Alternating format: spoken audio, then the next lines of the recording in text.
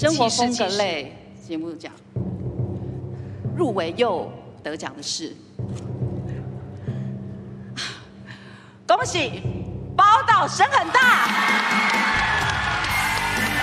走访台湾民俗庙宇，定位鲜明有创意，制作用心，呈现优美水文地景，也再现地方人物生景与民间信仰思想。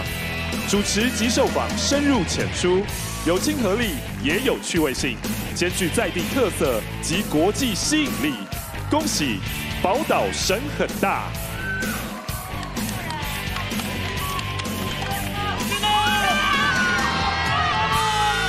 生活风格节目主持人奖，哎呦，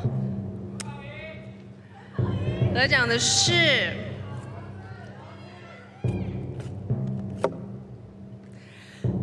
柯大宝，柯凯耀宝岛神很大。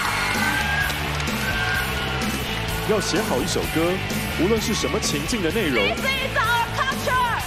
作者必须要用心专精所学、真情所感的领悟去真实呈现。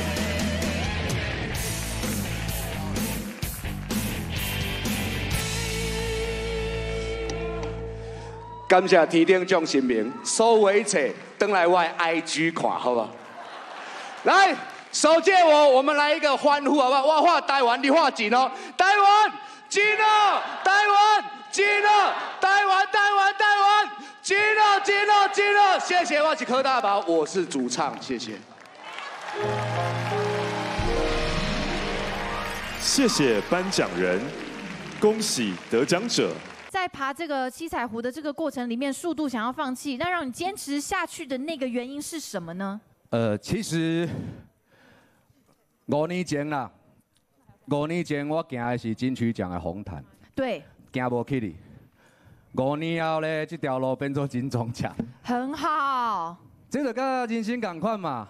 行唔对路，唔知影，反正你就继续行，反正甲另外一条山嘛袂歹啊。。对另外一个山顶也是不错。对，其实那段时间是我们整个团队也好，或者是说我个人也好，都是在一个相对低潮的时候。嗯，非常低潮的时候，甚至我也说在出发的时候，我女儿呃严重的那个肠胃型感冒发高烧，但是山上三天我根本没办法联络到。嗯，而且我们节目从头到尾每一个人都是用自己的生命跟热情再去完成这些事情，没有人可以接受二十二小时的出班呐、嗯，没有人可以接受没有饭吃、没有水喝。钱够多我可以。呃，重点就是也没有。对，不过真正让我们会在这个节目愿意花这么多精神，甚至是自掏腰包，主持费全部台北够不搞再继续下去，想要做的其实慢慢发现到的是，我们其实是平凡人啊，今天杀疼来，我们就是平常人啊，爽一天，明天早上醒来还是一样面对账单，还是一样三顿伫倒，就这关唔知要安怎过，大家人拢有关。但是每一个人拢有信用，是因为有信仰，才能够帮助每一个人度过每一关。不管是信奉真主阿拉、圣母耶稣基督、祖灵，或者跟我一样是拿香拜拜的人，那个微小的力量是真正我们走到社会每一个真正的角落跟低层去看到的。他们为什么可以串起最美的风景？台湾的最美风景是人，是这些东西。然后我们用各自的擅长的专业，把它在节目上呈现出来。他可以逗所有人笑，他是舞台剧演员。嗯，阿白不是阿白，真真田真田他的直播功力很强。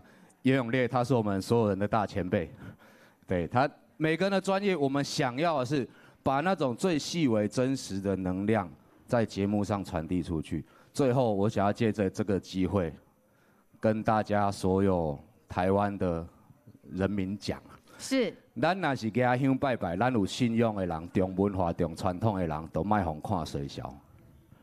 真的，好、这些人，我相信我讲的大家听得懂。加油，我们一起前进。一起加油！恭喜谦卑和敬畏成就了这个节目，谢谢你们，恭喜！